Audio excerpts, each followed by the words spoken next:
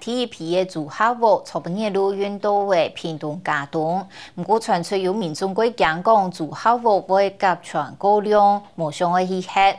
有几多年新闻讲加东乡长来讲货，都大会接收一到住客户么？乡长露出来讲，因为总从其安置的主头看提案政府，故所会接收么？家庭看提案政府，不过为操作本太价个安心，应该数家庭听过走神，会都一间住客户来检测一下。屏东县政府根本已派员来到灾区，发放所在民众安家慰问金一万元，还有饮水补助两万元。唔过，谈到消息来嘅灾民来到现场，三万个都冇拿到。啊，明仔载来个，才来根本无咧。有啦有啦，伊即摆可能一个一个穿一个穿休啦，伊种规人太多哦，我拢注意。哎，伊啊有诶是私人来发诶，有客着诶人就客，无客着人就准拄好安尼。安尼哦，啊公家安尼。公家拢阿边仔报告。原来发放慰问金嘅单位系民间嘅组织，在面不满嘅表示，应急照顾嘅慰问金，睇在后天生意日嚟还冇拿到。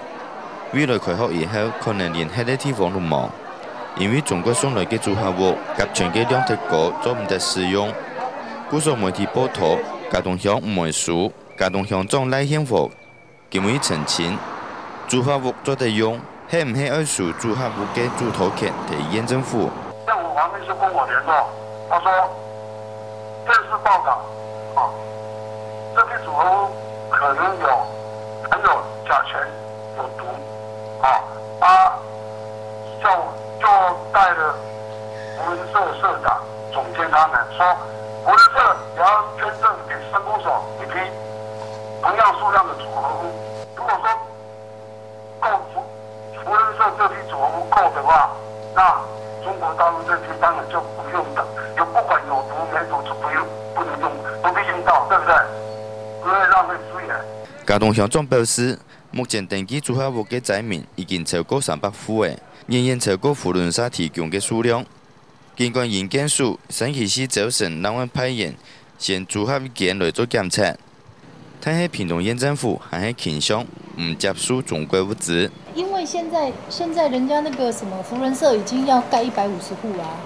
啊，所以他如果这里不用，他们就调到比如说是高雄县或是哪里去用，我们那里变成是战权区了。营建署副级组长嘅人员表示，中国一批采用钢铁材质过多，中间用玻璃量嘅组合物，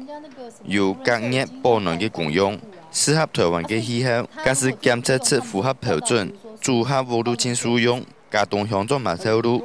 因为检验合格，